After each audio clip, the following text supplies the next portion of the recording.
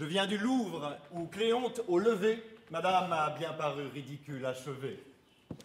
N'a-t-il point quelque ami qui pût, sur ses manières, d'un charitable avis lui prêter les lumières? Dans le monde, à vrai dire, il se barbouille fort. Partout, il porte un air qui saute aux yeux d'abord, et lorsqu'on le revoit après un peu d'absence, on le retrouve encore plus plein d'extravagance.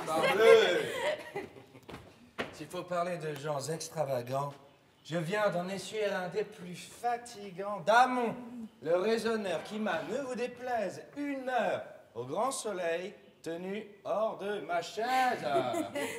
C'est un parleur étrange. Eh, qui trouve toujours l'art de ne vous rien dire avec de grands discours. Dans les propos qu'il tient, on ne voit jamais goutte. Et ce n'est que du bruit que tout ce qu'on écoute. Ce début n'est pas mal. Et contre le prochain, la conversation prend un assez bon train. Timante encore, madame, est un bon caractère. C'est de la tête aux pieds un homme tout mystère. Qui vous jette en passant un coup d'œil égaré et sans aucune affaire est toujours affairé. Tout ce qu'il vous débite en grimaces abonde, à force de façon, il assomme le monde. Sans cesse, il a tout bas pour rompre l'entretien un secret à vous dire, et ce secret n'est rien.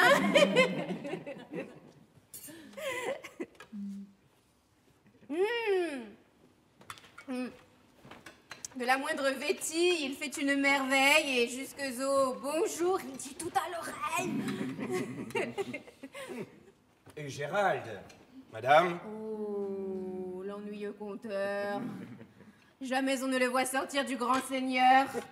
Dans le brillant commerce, il se mêle sans cesse et ne cite jamais que duc, prince ou princesse. La qualité l'entête. Et tous ces entretiens ne sont que de chevaux, d'équipage et de chiens. Il tuteille en parlant ceux du plus haut étage. Et le nom de monsieur est chez lui hors d'usage. On dit qu'avec Bélise, il est du dernier bien. Le pauvre esprit de femme et le sec entretien.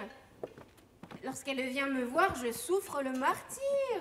Il faut suer sans cesse à chercher que lui dire, et la stérilité de son expression fait mourir à tout coup la conversation.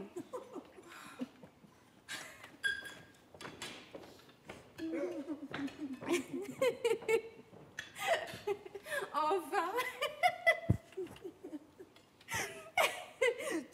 pour attaquer son stupide silence, de tous les lieux communs, vous prenez l'assistance.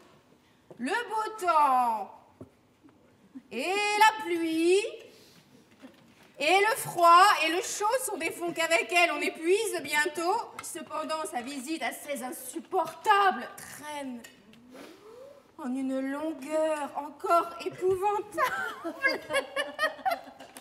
Et l'on demande l'heure, et l'on baille vingt fois qu'elle grouille aussi peu qu'une pièce